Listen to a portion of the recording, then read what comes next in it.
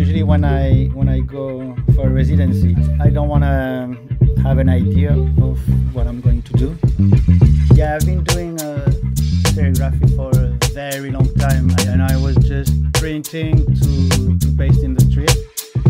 What I wanted to do this time is go against that. Like every thing we created with Arturo, they are all different. They're all one one.